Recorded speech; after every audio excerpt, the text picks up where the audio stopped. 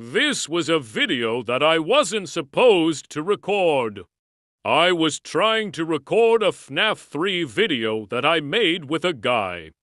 But I forgot to stop recording after I recorded that. So I just cut the video to make this. Anyways, here's me making a movie.